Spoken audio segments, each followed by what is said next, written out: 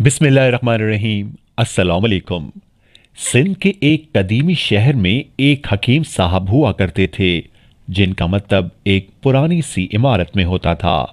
हकीम साहब रोज़ाना सुबह मतलब जाने से कबल बीवी को कहते कि जो कुछ आज के दिन के लिए तुमको दरकार है, एक चिट पर लिख कर दे दो। बीवी लिख कर दे देती, आप दुकान पर आकर सबसे पहले वो चिट खोलते। बीवी ने जो चीज़ें लिखी होती उनके सामने उन चीज़ों की कीमत दर्ज करते, फिर इनका टोटल करते। फिर अल्लाह ताला से दुआ करते कि, या अल्लाह, मैं सिर्फ़ तेरे ही हुक्म की तामील में तेरी इबादत छोड़कर यहाँ दुनियादारी के चक्रों में आ बैठा हूँ। जो ही तू मेरी आज की मतलूबा रकम का बंदोबस्त कर देगा, मैं उसी वक्त यहाँ से उठ जाऊँगा। और फिर यही होता, कभी सुबह के साढ़े नौ, कभी दस बजे, हकीम साहब मरीजों से फारिग होकर वापस अपने गाँव चले जाते। एक दिन हकीम साहब ने दुकान खोली। रकम का हिसाब लगाने के लिए चिट खोली तो वो चिट को देखते के देखते ही रह गए। एक मर्तबा तो इनका दिमाग घूम गया। उनको अपनी आँखों के सामने तारे चमकते हुए नज़र आ रहे थे। लेकिन जल्द ही उन्होंने अपने असाब पर काबू पा लिया। आटे, दाल वगैरह के बाद बेगम ने लिखा था, बेटी के जहेज की कीमत लिखने के बाद जहेज के सामने लिखा, ये अल्लाह का काम है, अल्लाह जाने। एक दो मरीज़ आए हुए थे, उनको हकीम साहब दवाई दे रहे थे। उसी दौरान एक बड़ी सी गाड़ी उनके मतब के सामने आकर रुकी। हकीम साहब ने कार या साहिब कार को कोई खास तवज्जा न दी, क्योंकि कई कारों वाले उनके पास आते रहते थे।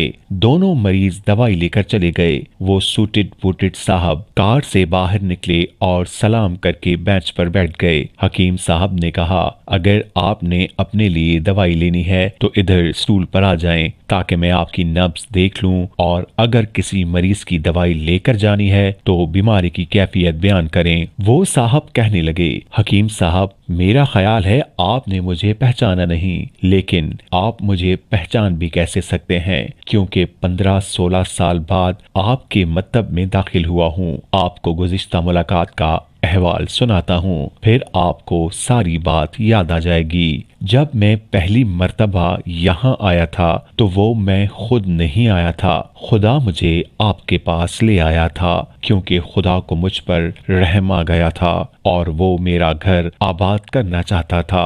हुआ इस तरह था कि मैं लाहौर से मीरपुर अपनी कार में अपने आबाई घर जा रहा था। एन आपकी दुकान के सामने हमारी कार पंक्चर हो गई। ड्राइवर कार का पहिया उतार कर पंक्चर लगवाने चला गया।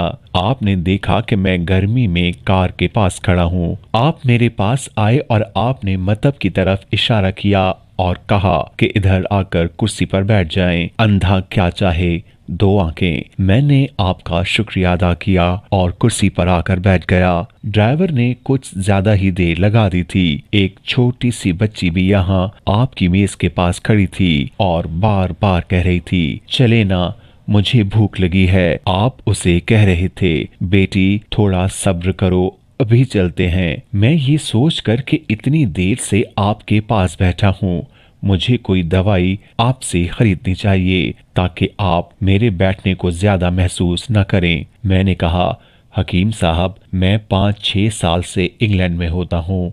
इंग्लैंड जाने से कबल मेरी शादी हो गई थी, लेकिन अभी तक औलाद की नेमत से महरूम हूँ। यहाँ भी बहुत इलाज किया और वहाँ इंग्लैंड में भी, लेकिन अभी किस्मत में मायूसी के सिवा और कुछ नहीं देखा। आपने कहा, मेरे भाई, तौबा इस्तगफार पढ़ो। खुदारा, अपने खुदा से मायूस न हो। याद रखो उसके खजाने में किसी शय की कमी नहीं। औलाद मालो असबाब और गमी खुशी, ज़िंदगी, मौत, हर चीज़ उसी के हाथ में है। किसी हकीम या डॉक्टर के हाथ में शिफा नहीं होती और ना ही किसी दवा में शिफा होती है। शिफा अगर होती है तो अल्लाह के हुक्म से होती है। औलाद देनी है तो उसी ने देनी है। मुझे याद है कि आप बातें करते जा रहे थे और साथ साथ पुड़िया भी बना रहे थे। तमाम दवाइयाँ आपने दो हिस्सों में तकसीम करके दो लिफाफों में डाली। फिर मुझसे पूछा कि आपका नाम क्या है? मैंने बताया कि मेरा नाम मोहम्मद अली है। आपने एक लिफाफे पर मोहम्मद अली और दूसरे पर बेगम मोहम्मद अली लिखा। फिर दोनों लिफाफे एक बड़े लिफाफे में डालकर दवाई इस्तेमाल करने का तरीका बताया। मैंने बेदिली से दवाई ले ली, क्योंकि मैं तो सिर्फ़ कुछ रकम आपको देना चाहता था। लेकिन जब दवाई लेने के बाद मैंने पूछा, कितने पैसे? तो आपने कहा, बस ठीक है। मैंने ज़्यादा ज़ोर डाला तो आपने कहा कि आज का खाता बंद हो गया है। मैंने कहा, मुझे आपकी बात समझ में नहीं आई। इसी दौरान वहाँ एक आदमी आ चुका था। उसने मुझे बताया कि खाता बंद होने का मतलब ये है कि आज के घरेलू अखराज के लिए जितनी रकम हकीम साहब ने अल्लाह से मांगी थी, वो अल्लाह ने दे दी है। मजीद रकम वो नहीं ले सकते। मैं कुछ हैरान हुआ। और कुछ दिल में शर्मिंदा हुआ कि मेरे कितने घटिया ख्यालात थे। और ये सादा सा हकीम कितना अजीम इंसान है। मैंने जब घर जाकर बीवी को दवाइयाँ दिखाई और सारी बात बताई तो बेख्तियार उसके मुँह से निकला। वो इंसान नहीं, कोई फरिश्ता है और इसकी दी हुई अद्वियात हमारे मन की मुराद पूरी करने का बाइस बनेंगी। हकीम साहब, आज मेरे घर में तीन फूल अपनी बाहर दिखा रहे हैं। हम मियाँ बीवी हर वक्त आपके लिए दुआएँ करते रहते हैं। जब भी पाकिस्तान छुट्टी पर आया, कार इधर रोकी।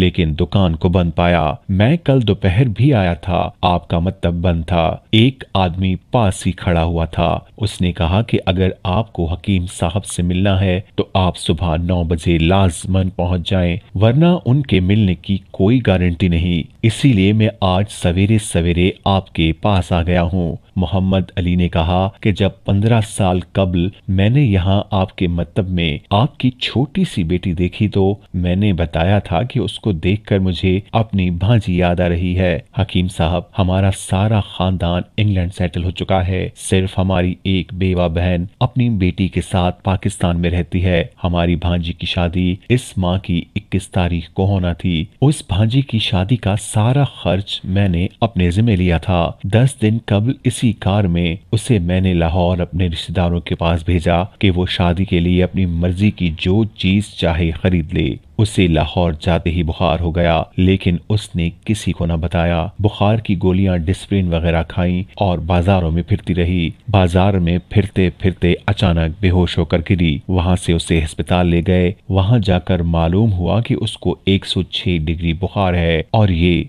गर्दन तोड़ बुखार है। वो बेहोशी के आलम ही में इस जहाने फानी से कूच कर गई। उसके फौत होते ही न जाने क्यों मुझे और मेरी बीवी को आपकी बेटी का ख्याल आया। हम मियाँ बीवी ने और हमारी तमाम फैमिली ने फैसला किया कि हम अपनी भांजी का तमाम जहेज का सामान आपके यहाँ पहुँचा देंगे। शादी जल्द हो तो उसका बंदोबस्त खुद करेंगे और अगर अभी कुछ देर है तो तमाम अखराज के लिए रकम आपको नकद पहुँचा देंगे। आपने ना नहीं करनी। आप अपना घर दिखा दें ताकि सामान का ट्रक वहाँ पहुँचाया जा सके।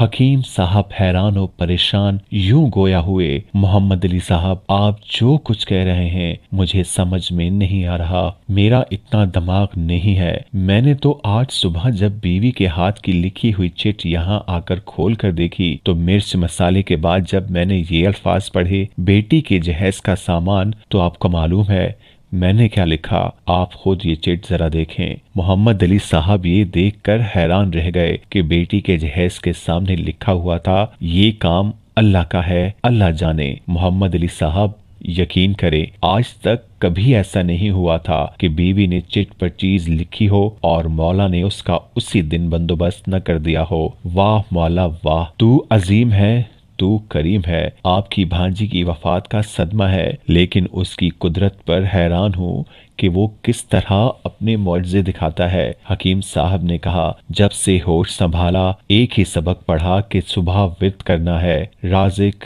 राजिक। तू ही राजिक और शाम को शुक्र शुक्र मौला तेरा शुक्र।